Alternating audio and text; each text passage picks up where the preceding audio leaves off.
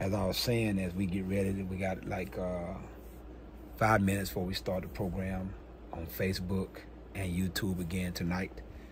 Um, and at the same time, giving some people time to come on. But again, as I said just a minute ago, if they don't come on, they can always go and listen to it later and record, watch the recording later. Um, I'm blessed and honored to be a child of God. I'm blessed and honored to be alive. I just couldn't have seen where I'm at today. I'm so glad that God' plan is way better than mine. I couldn't see salvation. Didn't even know what it was. Couldn't see going to church. I knew that. I was made to go to church. So, you know, I love the stories of the Bible. Um, I love the things I learned about the story that fascinated me, but had no clue whatsoever of holiness and righteousness. And, uh, you know, if you'd have told me I had to uh, give up um, certain things in life to be saved, at that time, that mentality, I'd have told you something wrong with you because I'm not letting that go. But I'm so glad that God's plan is greater than ours. I'm so glad. And so we honor him tonight. Father, once again, we thank you for another day's journey. We thank you for your love towards us, even when there's time we didn't feel like we deserved it. But we're so glad that love is not based on feelings when it comes to you, but love is based on what you did at the cross for us. We honor your holy name for this great and awesome day that you have allowed us to see another day to repent, another day to make sure we are in right standings with you, another day to strive for perfection, to strive to live holy. Father, throughout this day, this flesh has raised up in many ways to a point that we may have sinned and not even understood we sin. But then there are times we know we sin. So as we come before you humble, this evening, by the grace and mercy of God, we ask you to forgive us of all our sins. We ask you to forgive us of the things we have said that may have hurt somebody's feelings, may have scarred somebody in some form or fashion. Things we have done that was sinful according to your word. We ask you in the mighty name of Jesus Christ to forgive us of our sins. We have to walk by faith and not by sight. And your faith says that if we confess our sins, you are faithful to forgive us. And we are in need of forgiveness every day. Because this sin nature that we walk in, we allow sometimes to put us in position to go against your word. And because this sin nature desires things of the world, we have to crucify it every day. And sometimes, God, we can have some of the ugliest attitudes, but we profess to know you. Sometimes we can look at people in ways that the old saying of looks can kill, but we profess to love you. And so, since we fall short of your glory so often, we humbly submit ourselves to your authority tonight, God, and asking you in the name of your precious and holy Son, Jesus Christ, to forgive us of our sins. And because we know your word to be true, hallelujah, we rejoice in knowing that at this very moment, by faith, not by how we feel, because if we went by how we feel, we'll feel like we ain't doing nothing. It ain't worth praying. It ain't worth doing nothing because when we feel, we beat ourselves down. But by faith, we're knowing that you are God, that you are not flesh and bones, but you are a spirit. And your thoughts beyond our imagination, your ways beyond our understanding. But your word says, you are faithful and just to forgive me and those that are listening and those that are repenting. And so we're grateful for that, Father. We're so thankful that we can come before you with new mercies because your words say mercies are renewed daily. Amen. Mercies endure forever. But grace runs out sooner or later for some people. But now that we have grace and it is truly sufficient for us, mm, mm, hallelujah.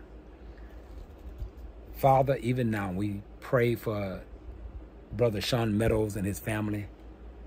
Amen. For the loss of his dad today.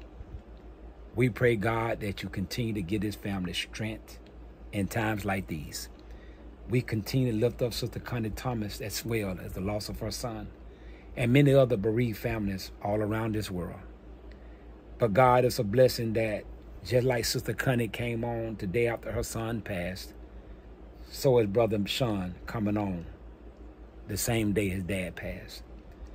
Amen. In spite of it all, God, we still have to give you glory. In spite of it all, we still have to give you praise. For you say in all things, even things that break our hearts, even things that are devastating to our thought pattern of life, even the things that come in line and hurt our feelings. You say, but yet in all things, to give you thanks. And being obedient to your word, God, it releases the Prince of Peace. That peace that surpasses all understanding because in giving thanks, our mind is stayed on you. And you said if we keep our mind on you, you'll give us, amen, that peace that surpasses all understanding that perfect peace. And God, since you are the Lord of all comfort, even now at times like these, we ask you to go and see about these families. Comfort the broken hearts. Comfort the feeble-minded. Comfort them that are mourning and hurting right now, God. In the mighty name of Jesus. Everybody takes death differently, but yet pain is still pain. And we're asking you, Lord, to be and do and see about this family. The Meadows family, the Thomas family, and many others.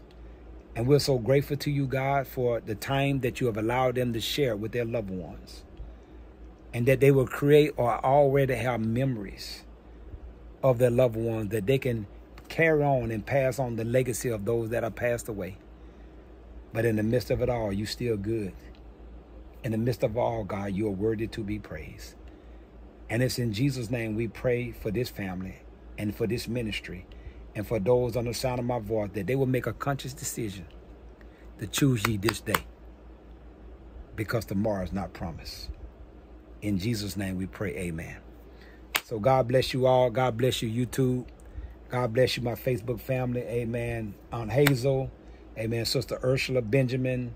Amen. Brother Sean Meadows. Sister Zanetta Polk. Amen. And many others I may have missed when your name popped up.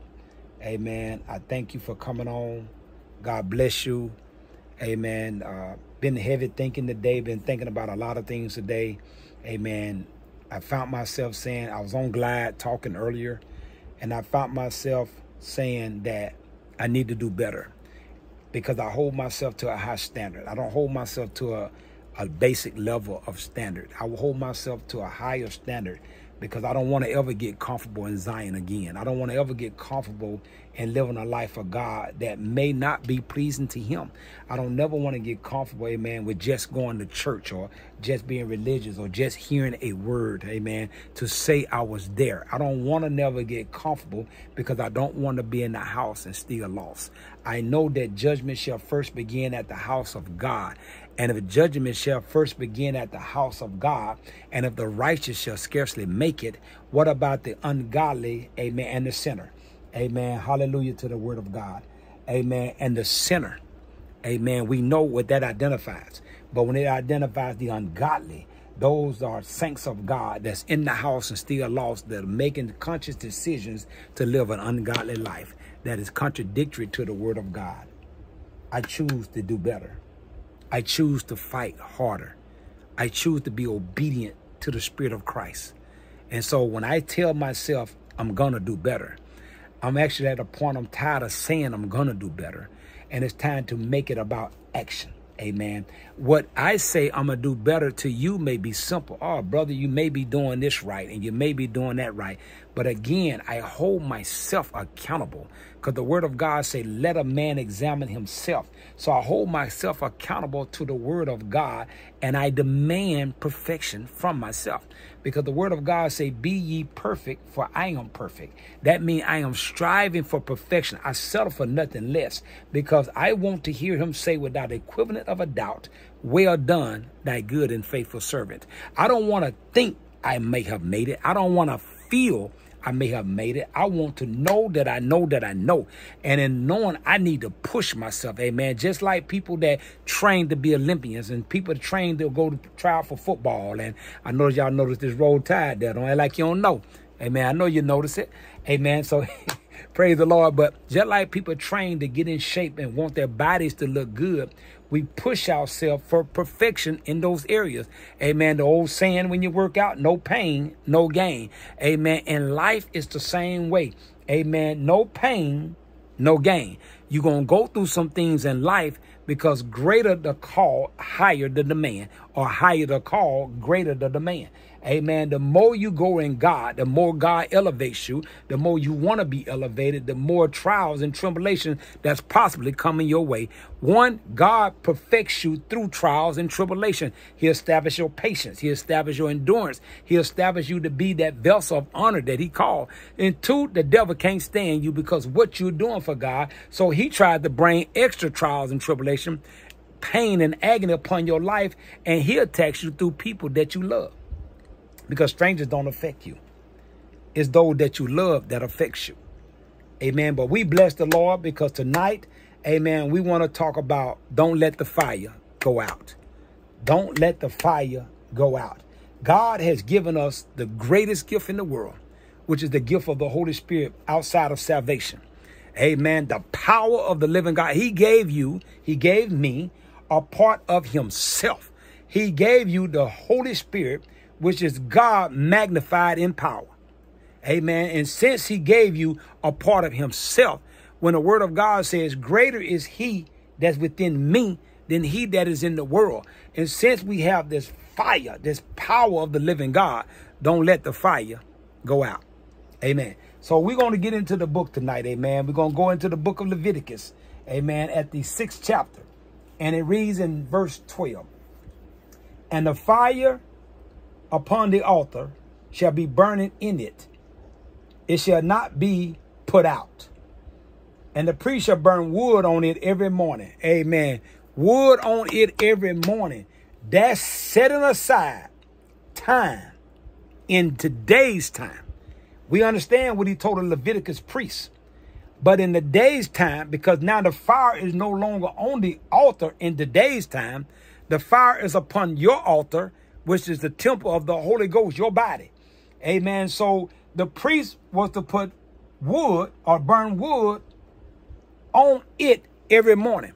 Amen. We burn wood, amen, by setting aside time to spend with the Lord because our God is a consuming fire. And since he is the true fire, that he said you walk through the waters, amen, he will not let nothing hurt us. Other words, let me flip that scripture a little bit. When you walk through the fire, you never shall, not shall be burned. Amen. You're not even to smell like smoke. Amen. Because our God is a consuming fire. Amen. And since he is the consuming fire, the Holy Ghost can never be put out. Amen. But you can quench the Holy Spirit. You can vex the Holy Spirit. You can wound the Holy Spirit. For them of us or those of you that say you got the Holy Ghost. So one of the greatest questions in the Bible was asked in Acts chapter 19, verse 2.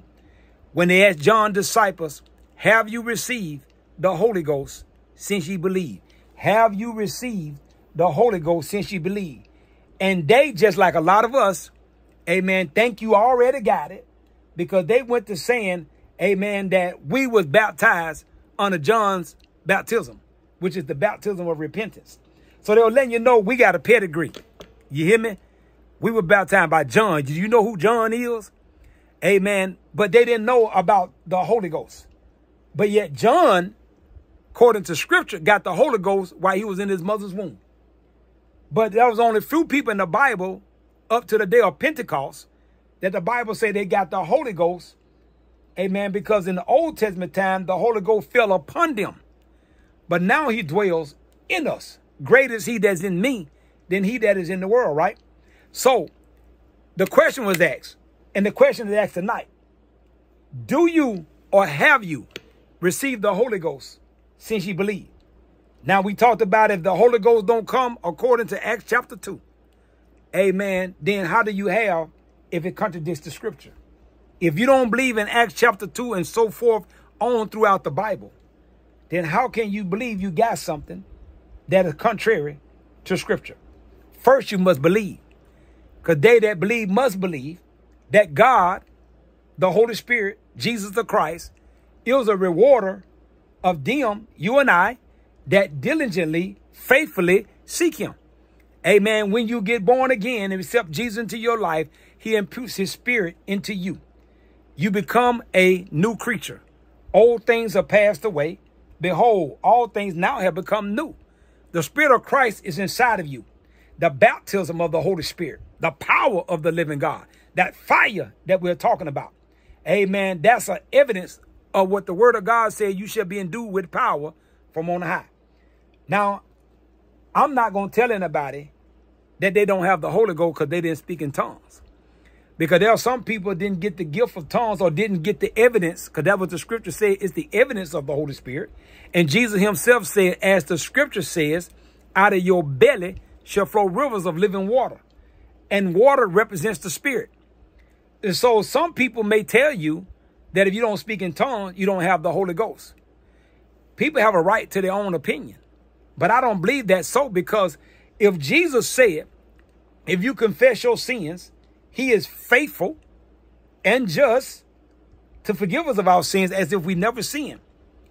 And so if we ask for forgiveness and he says he's faithful to forgive us, right? No more sin. And he's coming back for a church without spot or blemish. So you have no more sin at that moment.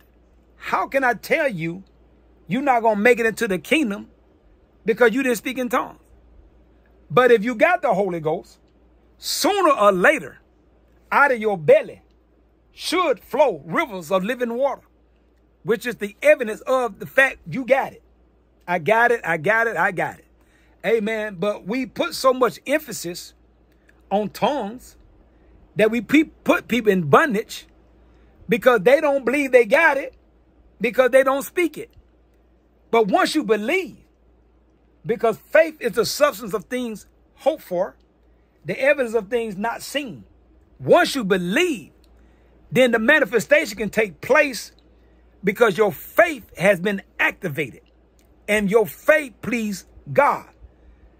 I got it in the barracks in Fort Drum, New York. I wasn't in church, but I went and opened my Bible and I stood on Acts chapter 2 and I said, God, you say it. And if it don't happen, that means you're a liar. And you said, God, you can't lie. And so since your word is true, and I believe your word to be true, I know I've been filled with the Holy Ghost. Let the rivers of living water flow out my belly. And the manifestation took place. That's the word of God. So, in the Old Testament said, don't let the fire go out. He said they burn wood on it every morning. You burn wood, amen, by spending time with God daily, setting aside some time to spend with the Father. Amen. Getting to know him better. Getting to sup with him to understand his ways. Because his ways are not our ways, nor his thoughts our thoughts.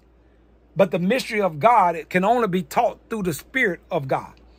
Not through the understanding of man, but through the Spirit of God. There are people that will look for reason to find fault in what you say. It's all right because it's not going to change what I know because what I know was taught by the Holy Spirit. It's okay that we'll disagree, but we pray for each other, not argue with each other, right? Hey, man, I had a brother on YouTube send me a scripture saying that, because I always say we shouldn't debate. I'm not going to debate. That's what I said. And I'm still not going to debate. Amen. He sent a scripture that says in Proverbs about we should debate. I understand what the scripture says. Brenda Cooks, God bless you. But what I'm saying is when we get to a point that we're debating and we can't come to an agreement and it causing other people that are watching to be confused and God is not the author of confusion and it causing one of us to be angry, the debate stops. Wisdom trumps the debate. Leading of the Holy Spirit trumps the debate. So I understand this individual threw a scripture at me to try to prove their point. But if you get in your flesh and the flesh cannot please God, then you supposed to be walking in the spirit. But we get to the point where the debate had led to a fleshly action and it led to an argument. Somebody got to stop. Somebody got to humble themselves, right? Amen. So I understand when people use scripture to make their point. Amen. But the word of God said line upon line, precept upon precept, here a little, there a little, not one scripture to make your point, but line it up upon, line it up upon, line it up upon the word of God. Amen. I will not debate with people. Amen. That ain't what God told us. I will debate in the sense of reasoning together. Let us reason together. But if it's to a point that you're stubborn in your ways and I'm stubborn in my way, and there's no ground being developed and all this building this animosity, God give us wisdom to shut that down until we come to a better timing, a better season. So, he said, we don't let the fire go out in modern times by staying in the fellowship, by going to church, not using excuses not to go, but being accompanied together with the assembly of believers being under the anointing of the body of Christ as a whole, tearing down strongholds spiritually, walking in when you're burdened down and them yokes begin to snatch off them fetters and chains, begin to snatch away that depression and oppression, begin to snap away those thoughts that you have of whatever issue you're battling with. You can pray yourself through, but there's power in unity. Don't let the devil fool you to cause you to go against what God's word said. Forsaken not the assembly of the brother. If God didn't want us in church, come on now, listen to me. If God didn't want us in church, the apostles, the founding fathers of the doctrine, would not have established churches. Come on, do you hear what I'm saying? Why we let the devil trick us saying we ain't got to go to church? Young lady told me tonight, she said, I don't believe you got to go to church to be saved. I'm good. I'm a good person. But I, I told her I ain't read what good get you in. I said this to her though. I said, but since your mind is already made up and you're not receptive to what I'm saying, I can show you scripture all day long. But if you're not receptive to what I'm saying, you're not going to receive it anyway. I said, because so many of us treat the word of God like a buffet. We lay it out there. We pluck out what we want and what we don't want, we leave it there. Other words, what we choose to live by, we take with us will we choose not because it don't fit our lifestyle. We pick the word of God and dictate what we live by. But yet in the Old Testament, that leads to the New Testament, it said, eat the whole scroll. And then Jesus said, if you love me, keep my commandment, obey my word. Amen. Every idle word that is spoken in here, right? Every word, not idle word, that is spoken in here. So we keep the fire burning, amen, by standing in the presence of God. You can't put the Holy Ghost out. Like in this time, they couldn't let the fire go out. But again, you can vex, you can wound, you can hurt because he's a person of he's an entity with his feelings. He feel our compassion. He understands us. Amen. He's your friend. He's your comforter. He's your guide. You can hurt him. And frankly, he's all I got. I don't want to hurt him. He guides me and directs me. He covers me. He strengthens me. He empowers me. Why would I want to hurt the person that does all that? Why I want to scar the one that got my back when nobody else got my back? Why would I want to do anything that will cause God to not be pleased with me? Did you not know, and I'm not saying it's biblical, but did you not know that I repented to the angels, the angels that were charged to watch over me when I chose to be a backslider and they watched all the filth and nastiness I done? It hit me one day that these angels that come from God himself that don't know sin had to watch me commit the foul act. I thought about that and I say, angels, forgive me for sinning in your presence. I ain't worship them. I just asked them to forgive me for sinning in their presence. Because in spite of it all, they had to obey God and keep watch over me. A sinner undone, a wretch that I was. Amen. So, he says, And the priest shall burn wood on it every morning and lay the burnt offering in order upon it, and he shall burn thereon the fat of the peace offering. The fire shall ever be burning upon the altar, it shall never go out. Don't let the fire of God go out in your life. Don't vex the Holy Spirit. Don't quench the Holy Spirit. Don't wound the Holy Spirit. Obey the Holy Spirit. Too many people are debating. Too many people are arguing. I said it on YouTube the other day. Why do we spend so much time finding fault in each other instead of uplifting and encouraging each other? Why do we spend so much time looking for the negativity? Because we all have sinned and fallen short. We all walk in flaws. Amen. But we're striving for perfection. Some of us walk in more flaws than others. But why is it that the saints of God are spending more time looking for sin to expose each other? See, that's the difference between covering and uncovering. Amen. Covering up sin is when someone have robbed your boss, stole money out of the register, and you as the righteous one, we call it snitching in the community.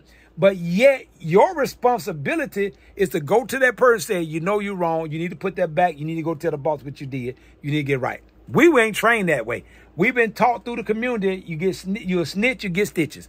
No, God said to cover up something that is wrong, it makes you just as guilty as if you did it. God bless you, Faye Johnson. To cover up sin makes you as guilty. But the uncover, the covering up is one thing. The uncovering is another thing. What is the uncovering? The uncovering of Brother Johnson, amen, was sleeping around with Sister Sally, and you the only one know. It is not your responsibility to go tell everybody.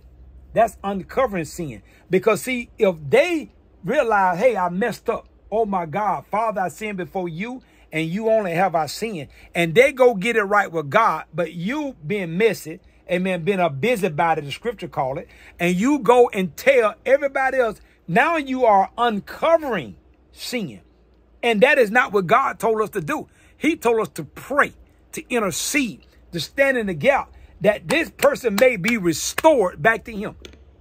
But once you put them out there for what they did, you planted seeds of discord. You planted seeds of whatever else come with that bitterness and hate. So now the people that this Every time they see that person, they only going to remember what you said. God bless your sister Sarah Nelson. That's all they're going to remember. So it's a difference between covering and uncovering. But our job is to pray.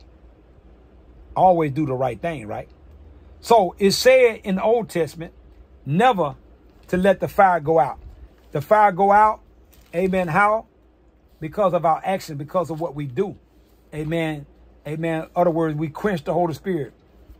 We quench the Holy Spirit. He's our convictor. He's our waymaker. He's our provider. He's the one show us when we wrong.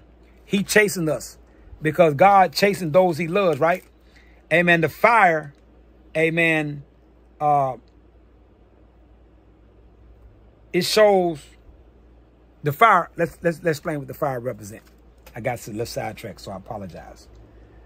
John the Baptist said it this way. He said he wasn't even worthy to untie Jesus' shoelace.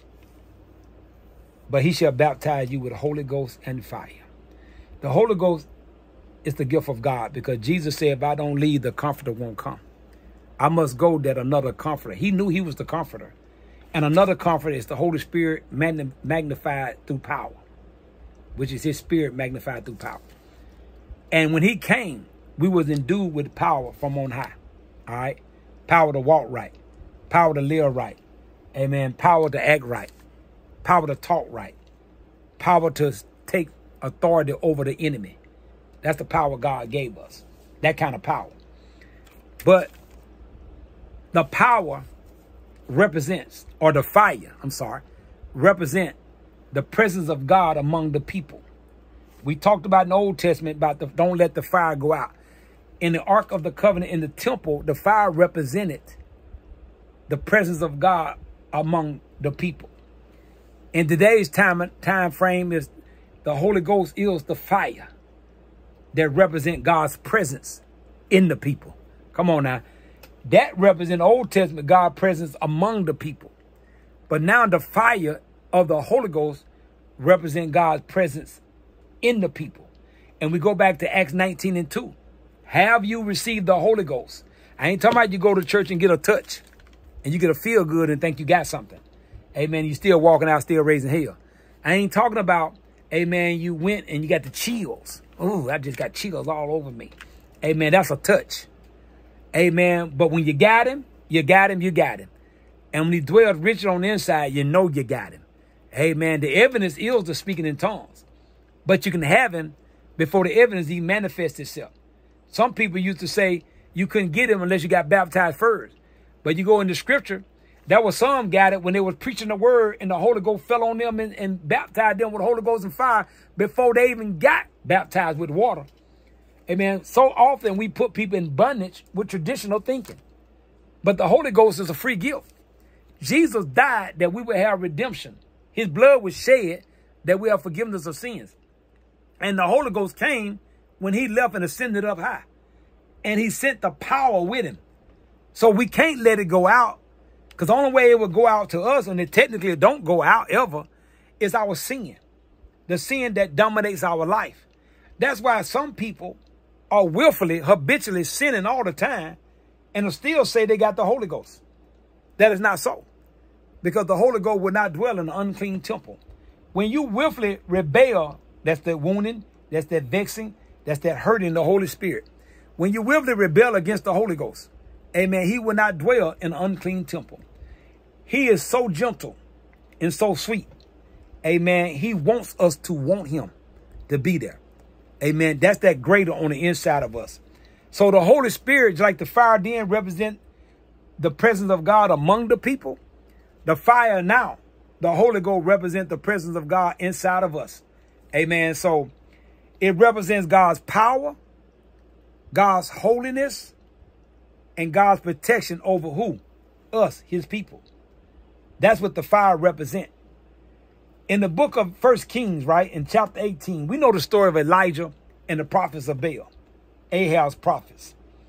How Elijah basically called a meeting. He said, we're going to do this. Let God be God, other words. And he said it this way. He said, the God that answered by fire, let him be God. And all the people answered and said, it is well spoken. Amen. That's Isaiah 18 and verse 24. I mean, Isaiah, I'm sorry. That's First Kings 18 and verse 24. The God that answered by fire. John said what? The Holy Ghost shall come. Amen. And Jesus shall come. The same. God bless you, Pamela Baker. And he shall baptize you with the Holy Ghost and fire. When you got baptized with that dunamis power, Acts chapter 2, the rivers of living water flowed up out of you. It was the evidence of the power being manifested in your life. It was the evidence of the glory of God being present in your life. When you accepted Jesus as your Savior became saved, his presence was put inside of you. But the power, the baptism of the Holy Ghost, that power, that power we need to go against the works of the enemy, that was a total different thing. Because our God is a consuming fire. So kindling a fire is equated with birth and resurrection. Amen. It's a force of purification. Fire purifies, right? That's what the Holy Spirit do. He cleans us up. He purges us. He get us in right standing with God. When God said, I'm coming back for a church without spot or blemish, the Holy Spirit gets you in right standings that you will be cleaned up. When God warned us and said the little foxes spoil the vine, the little sins that we blow off and we take for granted, the little thing that we keep doing and we want to call it a little white lie, the exaggeration of a story, which is another word for lie, manipulation of an incident is another word for lying, when you're deceiving, when you're misleading people to believe something that's not true. These little foxes that adds up, amen, uh, the little talk that leads to big talk that turns to gossip. Amen. Being negative about someone, planting seeds of discord, uncovering somebody's sin when it's not important for the person that you tell it to. If they're not a part of the situation, they don't have a solution to the problem, where most time they don't, then uncovering a person's sin is not what God told you to do. It's not important because you want everybody to know that Brother Floyd wasn't so holy that you tell Brother Floyd business when God has forgiven him. When you holding his past against him, when God don't throw it into the sea. It's not important everybody to know that so-and-so had an affair with so-and-so. It's not important for everybody to know that so-and-so lost their house. It's not important for everybody to know that so-and-so got caught lying and they went to jail. They was doing a DUI. That's not important for everybody to know. What's important is for everybody to pray. See, you don't quench the Holy Spirit when you pray. But you can quench him keeping up all that foolery, keeping up all that mess, keeping up all those things that God told you not to do. Don't let the fire go out by wounding the Holy Spirit, by being disobedient to the word of God, right? He uses fire to chasten us. He uses fire to keep us on our knees. Amen. That consuming fire. When God loves us so much, he is always preparing us to be in right standards. Why? We are bride. Amen. Being prepared for the wedding. He is constantly preparing us for the rapture. For you that don't believe in the rapture. Amen. First Thessalonians chapter 4 talks about it catching away. Being caught up, right? Amen. But of course, we got people that don't believe in. That's okay. Like I told my brothers and sisters on YouTube, I asked a simple question. If I'm wrong, pray for us because there's a lot of people going to bust hell wide open because that's what we believe. But if I'm right, I hope you don't wait too late to find out the truth. And so when people have their difference of opinion, I'm okay with what they believe. But that don't mean I got to believe what you believe. One of us wrong. But I pray that we both still make it in. I'm not going to argue about who's right or wrong. So this is what it says in First Thessalonians chapter 4, verse, um, let's start at verse 13. But I will not have you to be ignorant, brethren, concerning them which are asleep, that you sorrow not, even as others which have no hope.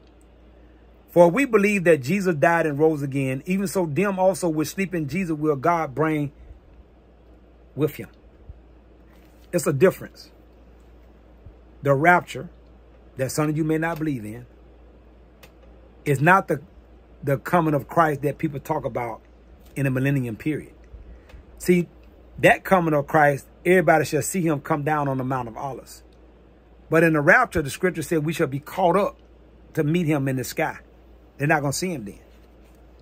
That's the difference in the two. So, for this we say unto you by the word of the Lord, that we which are alive and remain unto the coming of the Lord shall not prevent them which are asleep. For the Lord himself shall descend from heaven with a shout, with the voice of the archangel, and with the trump of God, and the dead in Christ shall rise first. Hmm.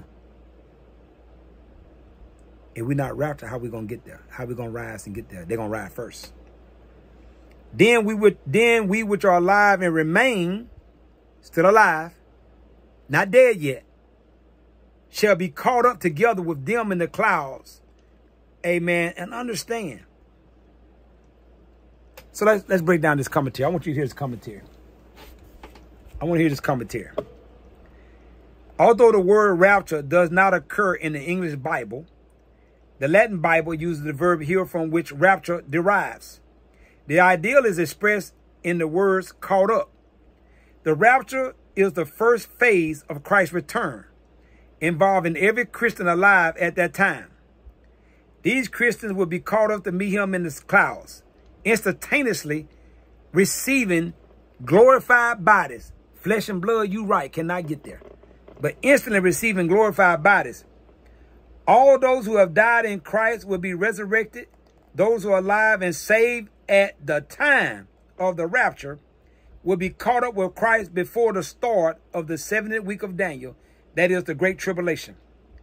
There are many reasons to believe that the rapture precedes the tribulation, but fundamentally, this view is consistent with a historical gram grammatical interpretation of the scriptures.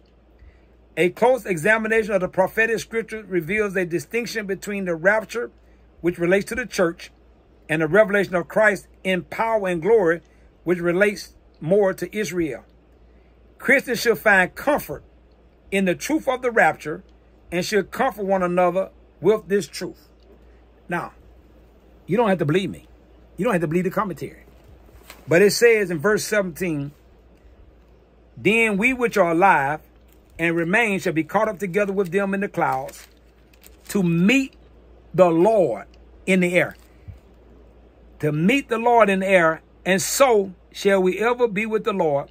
Wherefore, comfort one another with these words. There's going to be a transformation. And the Bible said that this corruptible body shall become incorruptible. It shall transform in a moment, in a twinkling of an eye. It's going to be a glorified body. I'm not going to debate it because I'm not going to get into an argument. There are some people going to believe what they choose to believe. But all I'm saying is, don't let the fire go out. Don't quench the Holy Spirit.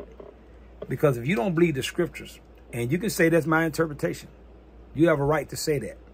Because I can say the same about you. That's your interpretation.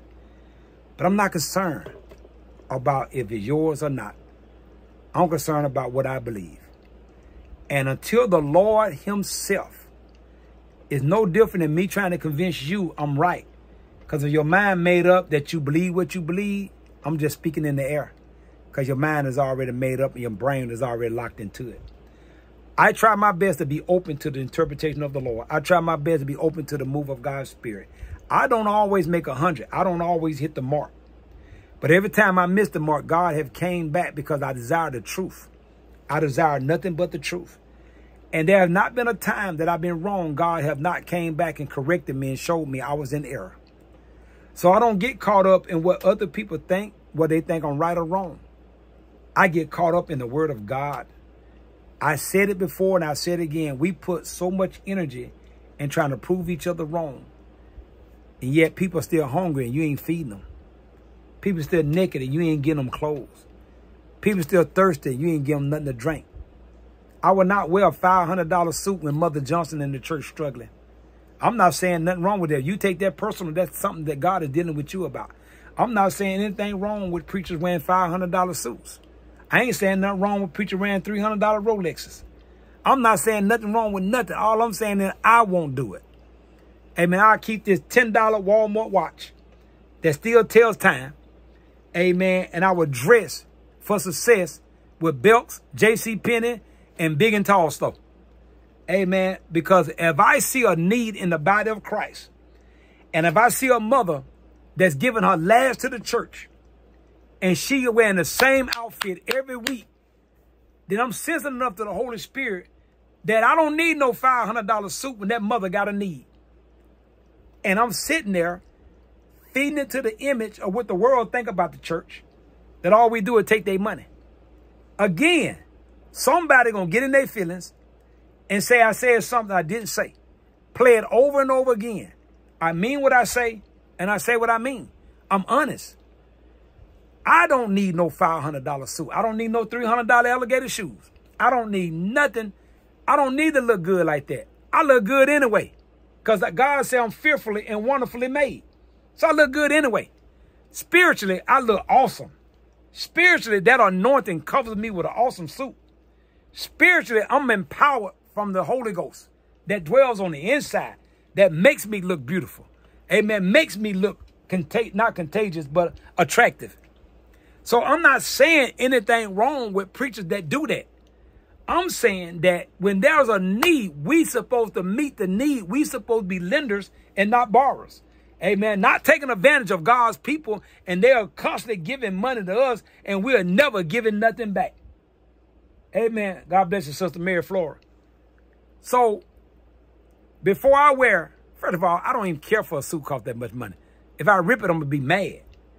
But before I wear a five, six hundred dollar suit and tell the church, I would never stand in front of the church and say I got a six, seven hundred dollar suit.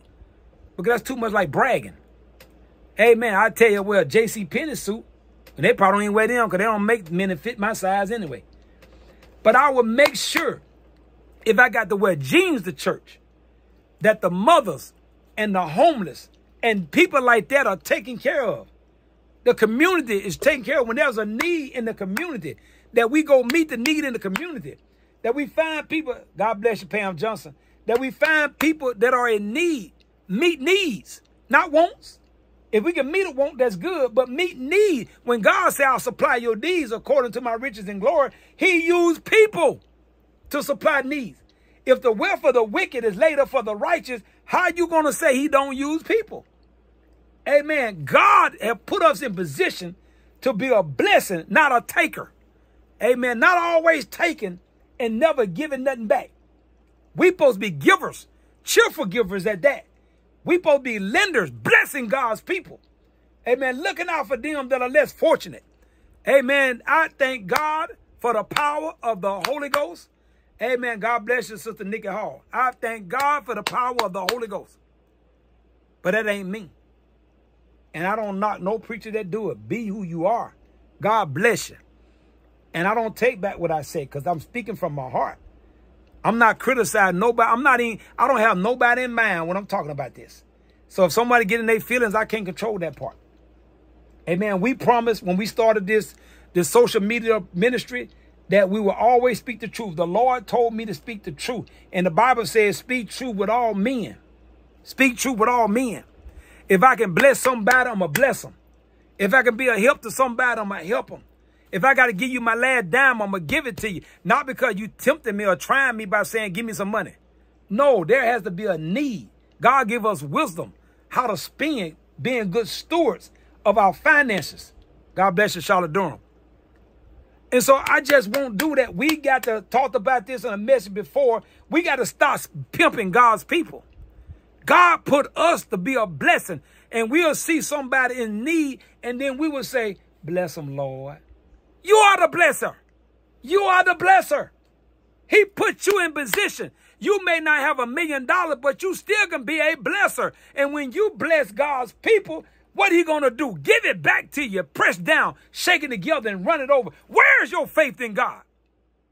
And quit looking at your situation and step out on faith. Quit worrying about the man on the street corner what he going to go buy liquor.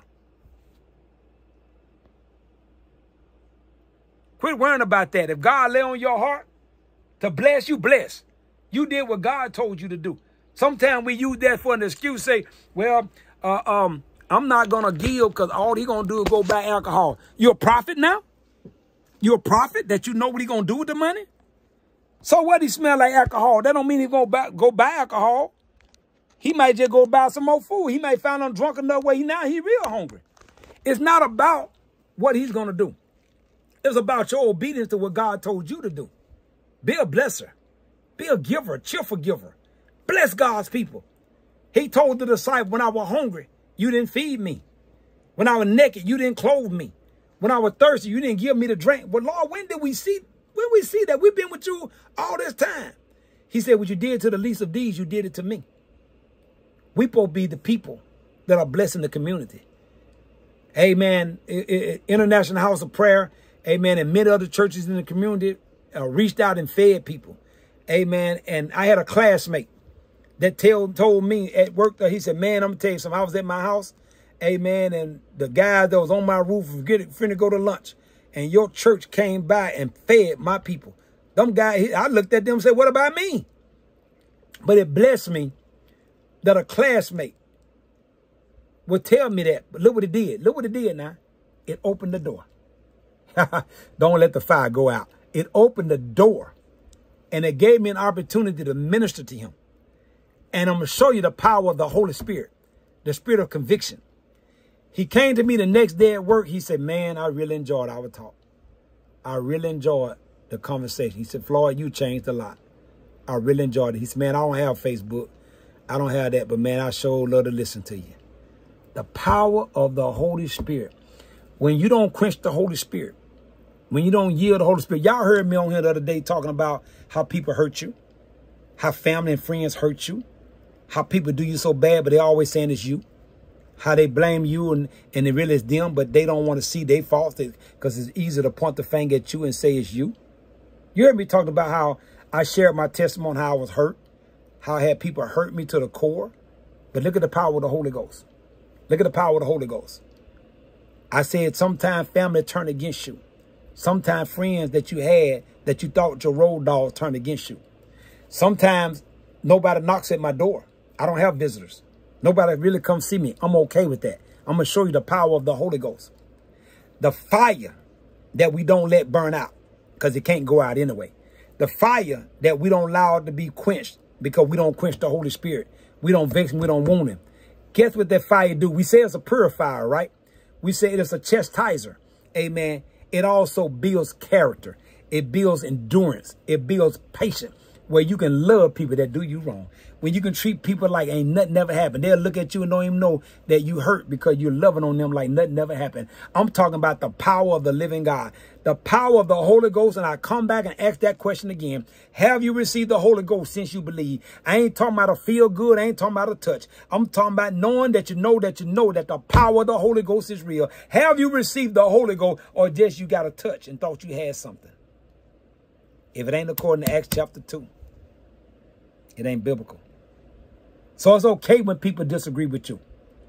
It's okay when people say you wrong, you're in there. I was told on YouTube that I was a false teacher, that I was preaching a erroneous doctrine by preaching the rapture.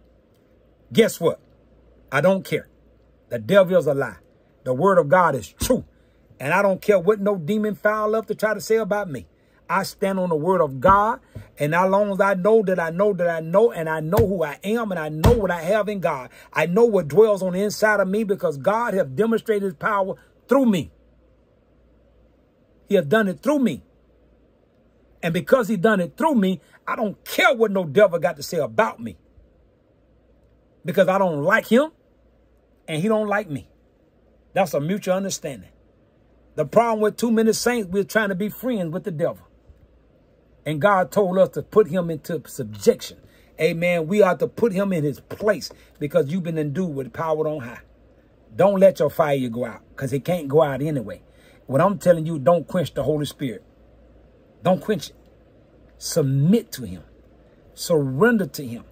And if you don't have him, you can get him. It's free. The price have already been paid. All you got to do is surrender according to scripture. All you got to do what Jesus said, as the scripture says, out of your belly shall flow rivers of living water. All you got to do is repent of your sins, add Jesus into your life, let him fill you with his spirit, and then seek after the baptism of the Holy Spirit. And God will give it to you. Because if you want it, he'll sure give it to you. I promise you that. It's yours for the action. It's yours for the action.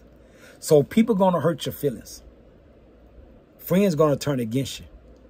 Family to turn against you. People to treat you like you leprosy when you live holy. That's the catch. Everybody don't get treated that way, but because of the anointing in your life, if the anointing is great and you live holy, some of your closest people that you love or say they love you to treat you so bad. They're going to hurt you. And behind closed doors, you're going to cry a lot of tears. People don't know how much I cried. But it's all right. Because the thing that my friends, hear me on this one, the thing that my friends and family thought they done, I feel like Joseph. When Joseph told his brother, this thing was of the Lord. Hallelujah. This thing was of the Lord. Because if I hadn't been treated the way I was treated, it wouldn't have pushed me in a spiritual cave. And it wouldn't have made me chase after God. And if I want to chase after God, I wouldn't have the relationship I have today. So thank you for doing what you did to me. Woo! God is good. Thank you for doing what you did to me. Because I do like Brother James said, I counted all joy when I went through divers temptation. I counted all joy when folk turned against me. I turned it all, counted all joy when they treated me like I had leprosy. I counted all joy when nobody come knock on my door. I counted all joy, but guess who's knocking at the door? If you knock, I answer. I will come sup in with you. Guess who's always knocking at my door? They call him Jesus. I call him Yeshua HaMashiach, the anointed one. That's who is always knocking at my door. Always. I will not shed another tear because how people treat me. But I shed a tear for their souls. Amen. I'm not concerned what you believe about me or not. I'm concerned about your soul.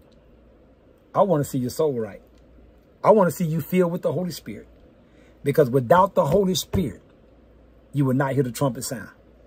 And if you don't believe in the rapture anyway, you ain't going to hear it anyway. Come on, somebody. Woo! I'm going to be caught up You can stay here and keep saying it ain't him. But I'm going to be caught up because of the power of resurrection power. The power of the blood. The power of the fire that's going to catch me up. Hallelujah. I'm going to be caught up. You stay here. You go through the seven-year tribulation. I'm getting out of here. the scripture say he's going to save us from the wrath to come. Do you know the wrath the Bible talks about in Daniel and Ezekiel? That wrath is the tribulation period. And the word said he's going to save us from the wrath to come. You keep staying here. I'm getting out of here. I'm catching the first train smoking. Amen. Because I'm not going through this. And I hope to catch up with y'all there. And if you ain't there, as my bishop always say, if you died in your sins and went to hell, tell hell Floyd ain't coming. Because I ain't coming. I ain't coming. So judge me. Condemn me. Do all what the natural think it can do because you can't do it to me. Because I'm endued with power. I have the Holy Ghost. And like I said the other night, if God would take a joker like me and allow me to lay hands on people that have blood clots, amen, and then they can't find the blood clot, and allow me to lay hands on a man with cancer with six months to live, and they can't find cancer, and allow us to pray for the sick and afflicted and see them raise up off their bed of affliction. I ain't to tell you it happens all the time. There's a season for everything. God has a purpose for everybody destined in their life. But I don't see the glory of God shine. I don't see the power of God move. I know what dwells on the inside of me. I know what comes up out my belly. And if you don't believe in that, it don't matter because the Holy Ghost is real. Because Jude 20 say, building up your most holy faith by praying in the Holy Ghost. There's a specific language that the Holy Spirit speaks on your behalf with moanings and groanings and intercession that you don't even know what you need. Amen. Because when you pray with understanding, sometimes we pray selfishly. But when you allow the Spirit of the living God to pray for you, it make intercessions for you. It tears down strongholds. Don't let the fire go out. Stay in the presence of God. Don't let the fire die. Stay prayed up. Stay fasted up. Stay chasing after God. And you'll find out he's real. You that don't believe will find out too. I hate for something to happen to you find out. But God is real. I'm an old country boy that grew up Baptist and Methodist and got saved in COGIC. But now apostolic. You know, apostolic folks say apostolic, but I ain't really know what they said apple. But the power of the Holy Ghost is not based on denominations. It's based on faith in the word of God. It's based on believing the scriptures and standing firm. So you, I'm going to close with this here. You that say the rapture is not real. Hear me good. You that say I'm a false teacher and I'm teaching false doctrine. You that say this, this is a question I have for you. Not only have you received the Holy Ghost since you say you believed, but can you walk and demonstrate the power of the Holy Ghost while you worried about what I'm doing? Can you lay hand on the sick and watch them recover? Can you cast out demons in the name of Jesus? Can you speak in new tongues, as the scripture says in the name of Jesus? Can you demonstrate the power of the Holy Ghost by the laying on of the hands? Can you speak into the atmosphere and see God create an atmosphere that's unchangeable? Can you speak to the situation in your life and see those mountains be removed? Can you stand on the word of God or all you're going to do is sit back and criticize who I am? Which you criticizing God. Because if you can't step out with power, you can't demonstrate with authority, then you the one living a false life. Because greater things ye shall do if you believe. That what Jesus himself said. Greater things ye shall do if you believe. And then he said it this way for you non-believers. He said, these signs shall follow them, all of y'all that believe. In my name, they shall lay hand on the sick. The Bible says, if any afflicted, let them pray. If any sick, let them call on the elders of the church. They may anoint them with oil and pray the prayer of faith that they may be healed. These signs. What sign? God's miracles and wonders. His signs shall follow them that believe. They shall cast out devils. A Beelzebub, if I'm a devil, The Bible said Beelzebub cannot cast out of Beelzebub. They shall cast out devils in my name. They shall speak in new tongues. God is so worthy. You keep believing what you choose to believe. I believe in the power of the fire that will never go out. it ain't to never go out because it's to catch me up and I'm to be caught up, raptured up, and gone up while you still sitting here trying to figure it out. Woo! God is good. God is good. Amen. You can't shake my faith. You can come against me all you want. You can't shake my faith. No, you can't. I know too much about him because you can't make me doubt him. Hey, man, This thing is real. I ain't know nothing about this when I was growing up. I ain't know nothing about the power of the Holy Ghost. I ain't know nothing about the miracles of God. I got it. I got it. I got it. I'm holding on to it. You, hold on to what you hold on to. But I'm holding on to it. Hallelujah to the Lamb of God. Amen. So in closing, if you don't know Jesus tonight as your personal savior, I said this on my glide app before I came on, and I will say this in closing.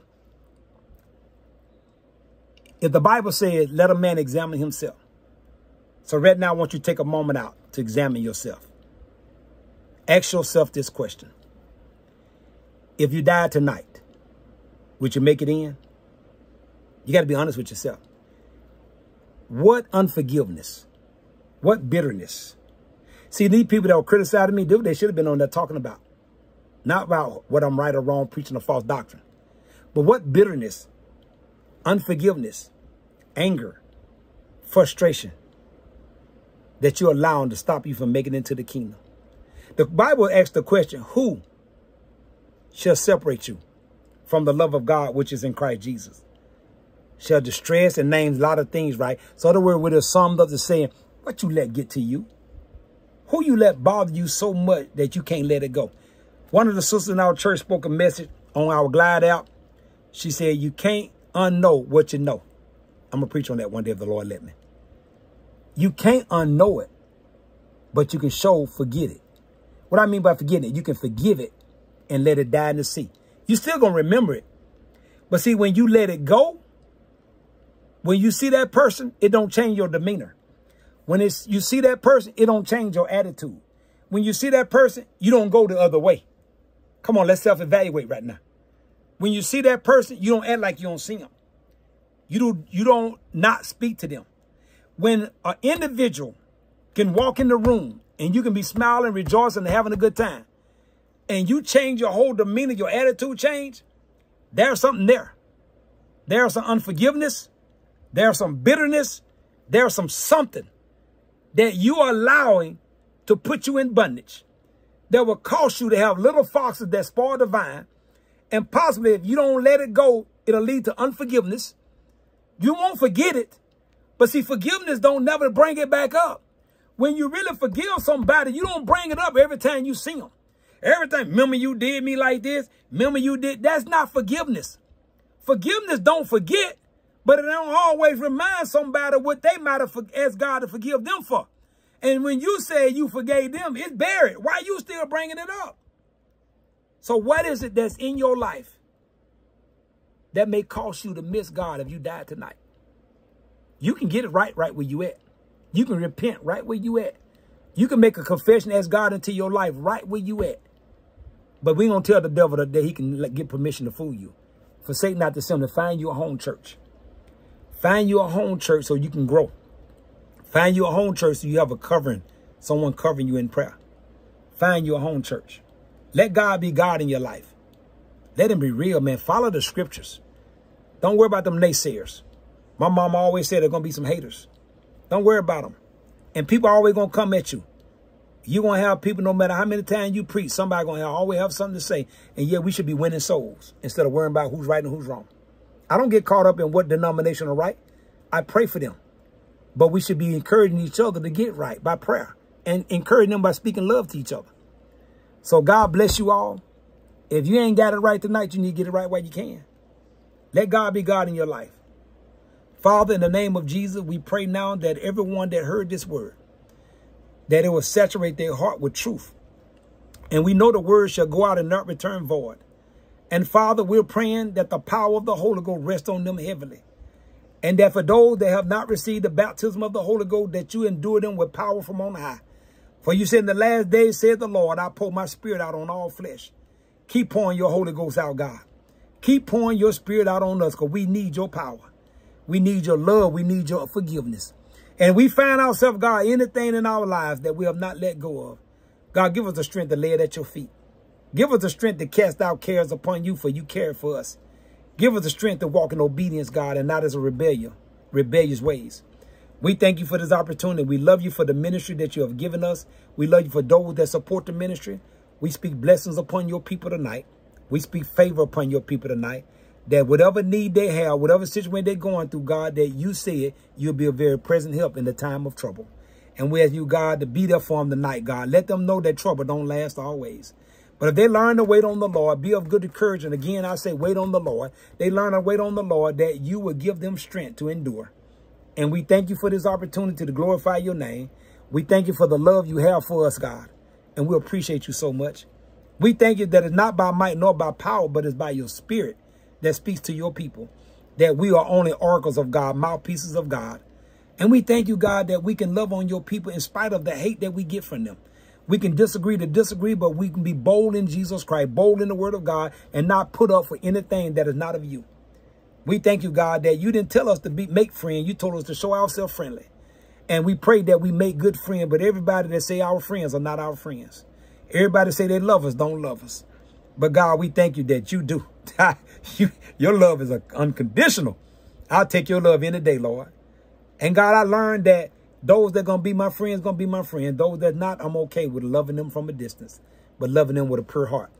Amen. What I mean by distance, when I see them, I love on them.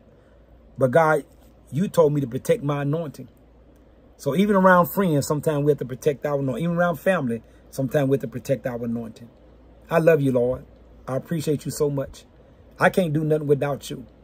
So I'm asking you to have your way, God. Let someone repent tonight. Let someone get it right with you tonight while they still have breath in their bodies.